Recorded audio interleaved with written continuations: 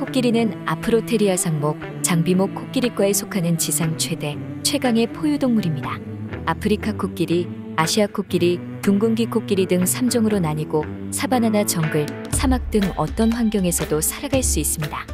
상징과도 같은 긴 코로 물도 마실 수 있다고 합니다. 한 번에 9리터까지 흡입 가능한데 직접 섭취하는 것이 아니라 코 안에 저장해 두었다가 입으로 가져가서 식도로 넘깁니다. 코는 손의 역할도 합니다. 근육 15만 개로 이루어졌기 때문에 수백 킬로그램 이상을 들어 올릴 수 있습니다. 애정 표현을 하기도 하고 수영할 때는 훌륭한 스노클의 역할을 합니다. 싸울 때는 위협적인 무기가 되는데 코로 잡아 던지거나 채찍처럼 휘두르기도 합니다. 제대로 맞으면 인간 포함 웬만한 동물은 바로 즉사할 수 있습니다. 커다란 코는 크기답게 냄새도 잘 맡습니다. 세상의 모든 육지동물 중 가장 후각이 좋다고 합니다. 덩치 이야기를 안 할 수가 없는데 알려진 대로 지상에서 가장 큰 동물입니다. 가장 큰 종인 아프리카 코끼리는 7.5m까지 자라며 평균 체중은 6.2톤입니다. 엄청난 덩치를 지탱해야 하는 만큼 발의 구조는 상당히 특이한 편입니다.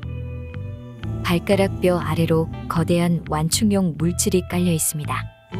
이 때문에 체중이 분산되어 자갈밭이나 바위지대도 수월하게 다닐 수 있습니다.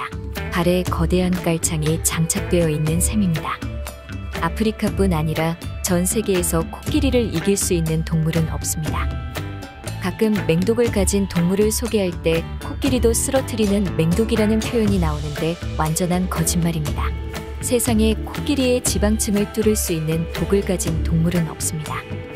코끼리와 코뿔소에 망측하면서도 재미있는 이야기가 하나 있습니다. 아프리카에는 허리가 부러진 채 죽은 암컷 코뿔소가 자주 발견된다고 합니다.